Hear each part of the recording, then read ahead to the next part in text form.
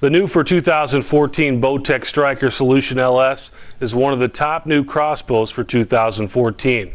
Stryker took everything they learned from the StrykeZone 380 and created a faster, safer, and more durable crossbow in the Solution LS.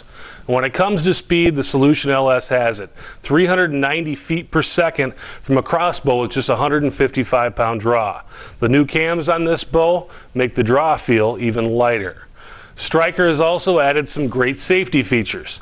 The old StrykeZone had a sensor and arrow hold down that caused some people to essentially dry fire the bow because they didn't get the arrow seated properly. Now with the new Solution LS, the problem is solved by redesigning the hold down and moving the sensor back. The good news is this crossbow, just like its predecessor, has an awesome trigger on it.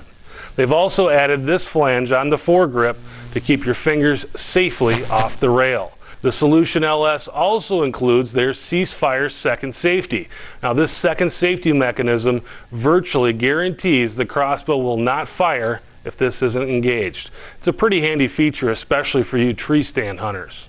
The old Strykers were plagued with limb issues. The 2014 LS features beefed up double laminated limbs, and where you can really see the improvement is the limb tips.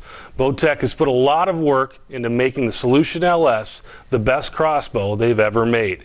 For more information, visit crossbowexpert.com.